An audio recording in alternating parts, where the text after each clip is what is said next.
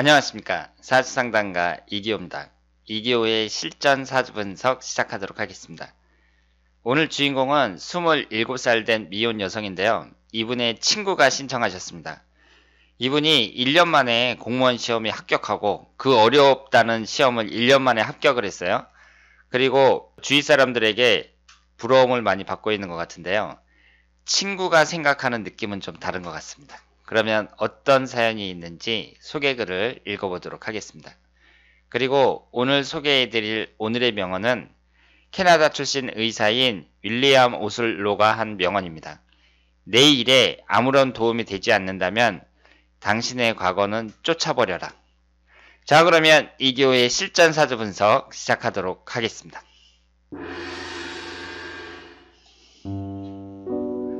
여자이고 제 친구입니다. 학창시절에는 공부를 그렇게 잘하는 편은 아니지만 욕심은 있어서 좋은 대학교를 가려고 기숙사 학원까지 다녔고 결국은 원하는 대학에 못 갔습니다. 대학 졸업하고 나서 공무원 준비를 해서 2017년 1년 만에 합격해 근무하고 있습니다. 자기 손해보는 걸 진짜 싫어하고 계산에 빠르고 좀 얕게 행동해서 그런지 주변 사람들이 그렇게 좋아하는 편이 아니에요. 자랑도 엄청 심합니다. 결혼은 하고 싶어 하는데 좋은 남자가 다가오질 않아 고민한다고 합니다. 사주 보러 갔더니 남편은 별로라도 자식운이 엄청 좋다고 했다던데 이것도 궁금하네요.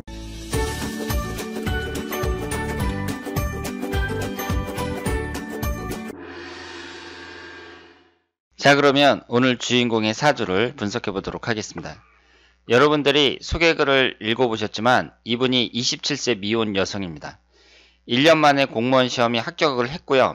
그런데 친구가 바라보는 주인공의 모습을 보면 일단은 자기 이익을 너무 챙긴다고 합니다. 그리고 자기 자랑도 심하다고 해요. 그래서 주위에 좋아하는 사람들이 별로 없다고 합니다. 그리고 좋은 남자가 없어서 고민을 하고 있다고 하는데 사주를 한번 분석을 해보도록 하겠습니다. 이분이 임신년, 개축월, 기유일, 개유시 이렇게 되어 있어요.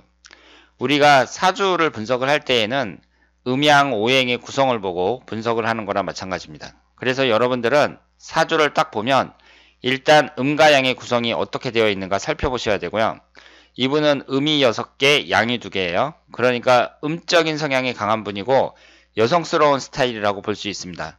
박력 있고 남성스러운 스타일이 아니라 여성스럽고 소, 소극적인 스타일이라고 봐야 됩니다. 그리고 오행의 구성을 보면 목화가 없고 토금수만 있어요. 그러면 이런 분들은 일단은 성격이 뚜렷하다고 볼 수 있고요. 목화가 발산의 성질이라고 말씀을 드렸고 금수가 수용의 성질이라고 말씀을 드렸습니다. 그러면 이 발산의 성질이라는 것은 발산이라는 말, 발산이라는 말에서 느끼듯이 좀 적극적이고 능동적인 면이 있고요. 그래서 목화의 기운이 강한 분들은 여자가 일단 애교도 있고 그리고 사람들하고 말도 잘하고 그렇습니다. 그리고 금수의 성질이 강한 사람들은 수용의 성질이라고 하거든요. 그 수용이라는 말에서 느낄 수 있듯이 포용력이 있고 책임감이 있어요. 그런데 표정 자체는 좀 굳어 있는 경우가 많습니다. 그래서 처음에 만날 때에는 가까이 다가가기가 좀 어려운 경우가 많은데 막상 사귀어보면 이제 더 친해질 수 있는 거죠. 그래서 모카토금수가 골고루 들어있는 그런 사주가 좋은 사주라고 볼 수 있고요. 제가 공무원 시험을 본다는 사람들을 보면 항상 얘기를 하는 게 관운이 있어야 된다고 말씀을 드리잖아요. 그런데 이분은 지금 이 사주를 봤을 때 관운이 없습니다. 그런데 지금 이분이 태어난 시간이 상당히 애매합니다. 그래서 유시가 되기도 하고 그리고 술시가 되기도 하거든요. 그래서 술시가 됐을 경우에는 이제 시주에 간목이 하나 들어오니까 이때는 관성운이 있어요. 그런데 이 주인공을 직접 만나보지를 못해갖고 정확한 이 시간을 찾기가 힘들었는데 저는 유시로 해서 분석을 해보도록 하겠습니다. 우리가 이제 공무원 시험을 본다든가 이런 것도요. 지금 이분은 인성운도 없어요. 학문을 나타내는 인성운도 없고 그리고 간성운을 나타내는 공직운을 나타내는 목기운도 없습니다. 그런데 1년 만에 합격을 했단 말이에요. 그러니까 이 시험이라는 것은요. 자기 실력이 있으면 되는 거예요. 커트라인을 넘길 만한 그런 실력만 갖고 갖추어져 있으면 붙는 겁니다. 그런데 이런 이분처럼 이렇게 예외적인 경우도 있지만 대부분은 간성운이 없을 경우 이럴 경우에는 공지군에는 잘 안 맞는다. 이렇게 말씀을 드릴 수 있습니다. 그리고 이분처럼 합격을 했다고 하더라도 이 공무원이라는 게 이제 요즘 젊은 사람들의 로망이잖아요. 상당히 선망하는 직업이 돼버렸단 말이에요. 그런데 이분의 사주를 봤을 때 관성운이 없, 너무 약하면 공무원이 되더라도 행복감을 느끼기가 어렵다. 본인의 체질에 잘 안 맞는다. 이렇게 말씀을 드릴 수 있습니다. 지금 이분을 보면 유금이 두 개 있고요. 식신상가론이 세 개가 있어요. 그러니까 이분은 지금 관성운이 매우 약하다고 볼 수 있죠. 그리고 재성운이 세 개가 있고 비경겁제가 이제 두 개가 있습니다. 그러면 없는 게 뭐죠? 인성운인 화기운이었고요. 그리고 목기운이 없으니까 관성운이 없습니다. 그러면 이분이 지금 27살인데 남자 때문에 아 좋은 남자가 나한테 다가오면 결혼을 할 텐데 그런 남자가 아직 없다 이렇게 말씀을 하셨잖아요. 그런데 실제 그럴 가능성이 높습니다. 그러니까 이분이 눈이 높아서 그런 것이 아니라 진짜로 좋은 남자가 잘 다가오지 않을 가능성이 높아요.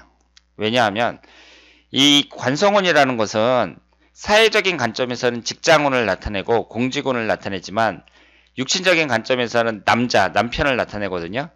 그런데 이 관성운이 너무 약합니다. 지금 이분은 일단은 목기운이 없잖아요. 목기운이 없고 흘러가는 대운에서도 어때요? 목기운이 아예 들어오질 않습니다. 그래서 저는 이분이 만약에 공부를 특별하게 잘하지 못했다면 저 찾아왔을 때 공무원 시험 준비하지 말라고 했죠. 그리고 이분처럼 이렇게 합격을 하더라도 실력만 있으면 합격하는 거지만 잘 안 맞는다고 봐야 돼요. 본인 체질에도. 그런데 지금 공무원은 붙었단 말이에요. 공무원 시험에는. 그러니까 이분의 운을 극복을 했다고도 볼 수가 있겠죠. 그런데 남자운 같은 경우에는요. 내 노력으로 잘 되질 않습니다. 운이 어느 정도 따라줘야 된다고 볼 수 있는데 일단 남자를 나타내는 관성운이 없고 오행의 상생상극 관계에서 이 식신상관운이 강하면 어때요? 식상운이라는 것은 금기운이 목기운을 극하거든요. 관성운을 극한단 말이에요. 지금 식상운이 너무 많으니까 남자운이 힘을 못 쓴다. 이렇게 말씀을 드릴 수 있습니다. 이제 신의 대운이 지나면 내년부터는 경술 대운이 시작이 되거든요. 그리고 무려 30년간 57세가 될 때까지 토기운하고 금기운만 들어옵니다. 경술대운, 기후대운, 무신대운 이렇게 들어와요. 그러면 38세에서부터 47세까지 기후대운은 일단은 안 좋다고 봐야 돼요. 왜 안 좋아요? 일주하고 똑같죠. 그러니까 대운 지금 이분은 흘러가는 대운 자체가 그다지 좋다고 보기가 어려워요. 왜냐하면 한눈에 딱 보더라도 목화가 없잖아요. 그러면 목화가 들어와야 돼요. 목기운하고 화기운이 없는 사람은 목기운하고 화기운이 들어와야 되는데 58세 정미대운 이후부터 화기운하고 목기운이 보입니다. 너무 늦게 들어오죠. 그리고 30년 동안 들어오는 이 토기운하고 금기운을 어떻게 봐야 될 것이냐. 지금 이사주는 토기운이 월지 포함해서 두 개나 되잖아요. 금기운도 세 개나 돼요. 그러니까 여기에서 기신운이라고 볼 수밖에 없습니다. 그렇기 때문에 이분이 일단은 남자운에 있어서는 불리하다는 거 이것을 말씀을 드릴 수밖에 없고요. 그리고 다른 데 가서 봤을 때에는 자수군이 좋다 이렇게 얘기를 했다고 하는데 이 사주에서는 뭐 자식운을 나타내는 금기운이 지지에 이렇게 깔려 있지만 특별히 자식운을 좋을 거 자식운이 좋은 그런 이유는 찾지를 못하겠습니다. 머리는 좋다고 봐야죠. 왜냐하면 기유일주 자체가 머리가 좋은 그런 일주에 해당이 됩니다. 사람이 좀 영특하다 이렇게 볼 수 있고요. 이것은 학력화하고는 좀 무관하다고 말씀을 드릴 수 있습니다.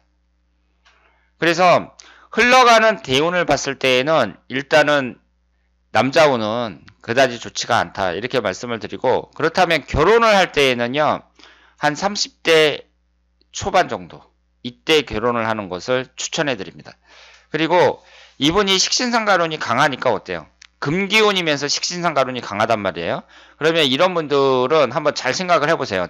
본인의 경우에도 금기운인데 식신상가론이 강한 사람들이 많거든요.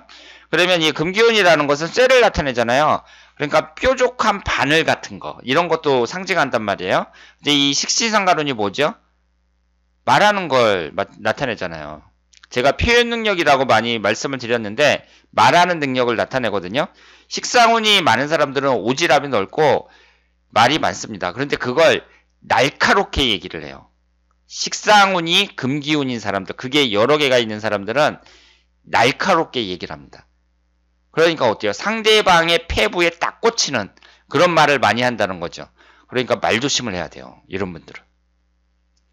그래서 직업을 갖는다면 오히려 이분은 기자 같은 거, 기자나 뭐 이런 사회를 날카롭게 비판한다든가 뭐 어떤 주제에 대해서 예리하게 이렇게 비판하는 그런 직업이 어울린다고 볼 수 있죠. 그리고 요즘에는 이제 젊은 사람들이 유튜브도 많이 하고 그러잖아요. 이분 같은 경우 유튜브 영상 같은 거 찍으면 괜찮다고 볼 수 있죠. 왜냐하면 식상운도 발달했고 말하는 것도 좋아하고 그리고 머리도 좋고 그러니까 뭐 유튜브 같은 데 나와가지고 막 혼자서 떠들고 뭐 무슨 정치 채널 같은 거 만들고 막 이런 사람들 그런 영상을 만들어도 괜찮다 이렇게 말씀을 드릴 수 있습니다. 남자 문제 같은 경우는요 이분이 관성운이 아주 약한 상태에서도 공무원 시험에 합격했잖아요 그것처럼 본인이 노력하면 노력해서 그 좋은 남자와 인연을 만들기를 바라겠습니다. 그러면 여기에 있는 것이 월운이거든요. 올해가 기해년이고요. 토기운하고 수기운이 들어와요. 그러니까 이거 어렵게 생각할 필요가 없이 목화가 들어와야 좋다. 토금수는 안 좋다. 이렇게 생각을 하시길 바랍니다. 그런데 이 지지의 구성에서 봤을 때 제가 목화가 들어와야 좋다 이렇게 말씀을 드렸는데요. 하필이면 지지가 유금이죠. 그러면 인목이 들어올 때 어때요? 인유 원진살이죠. 묘목이 들어오면 묘유충이죠. 그러니까 이분의 사주 자체가 그렇게 좋은 사주가 아니에요, 지금. 1년 만에 공무원 시험 합격하고 이런 걸 봤을 때에는 친구의 사주가 되게 좋은가 보다 이렇게 생각을 할 수가 있는데 그다지 좋지가 않습니다. 목기운이 들어왔을 때 용신의 역할을 해야 되는데 역할을 못하죠. 그래서 3월 달에는 항상 묘목만 들어온단 말이에요. 그러면 이분은 3월 달이 항상 안 좋다고 봐야죠. 그리고 2월 달이 원진살이니까 이분은 2월 달하고 3월 달이 어때요? 이성운이 가장 안 좋다고 봐야 됩니다. 그러면 내가 어떤 남자를 지금 사귀고 있어요? 그런데 이 남자하고 좋은 관계를 계속 유지했으면 좋겠어요. 그럴 때 어떻게, 그럴 때 언제 조심해야 되느냐? 2월 달하고 3월 달. 그래서 다음 달에 이제 남자를 사귄다. 그러면 아, 내가 2월달하고 3월달에는 좀 조심해야겠구나. 그러니까 남자가 뭐 싫어할 만, 할 만한 얘기들, 이런 얘기는 하지 말고 다툼이 생길 것 같은 것은 그런 행동은 하지 말아야겠다. 이런 생각을 하는 것이 좋습니다. 그리고 이 식상운이 발달된 사람들은요, 말이 많은데, 말이 많은데, 이것이 이제, 이분 같은 경우에는 남들이 선망하는 공무원도 되고 그랬잖아요. 그러니까 그 자기 자랑 이런 것이 또 젊었을 때에는 사람이 좀 우쭐하고 그런 것도 있으니까 이 식상운하고 결합을 해가지고 그 자기 자랑이 좀 심하다 이렇게 해석을 할 수도 있습니다. 그리고 자기 이익을 챙기고 뭐 이렇게 말씀을 하셨는데 화기운이 없잖아요. 그럼 화기운이 뭐예요? 학문운을 나타내는데 그 사람의 인격을 나타내는 경우도 있잖아요. 그러니까 이것이 부정적으로 나타났을 경우에 그때에는 인격을 나타내는 화기운이 없으니까 게다가 또 여기서 특징이 뭐예요? 재성운이 강하죠. 인성운은 없으면서 재성운이 강해요. 재성운이라는 게 뭐예요? 돈을 나타내죠. 그러면 인격을 나타내는 화기운, 인성운은 없으면서 돈을 나타내는 재성운이 강하단 말이에요. 그럴 경우에는 좀 천박한 경우가 많습니다.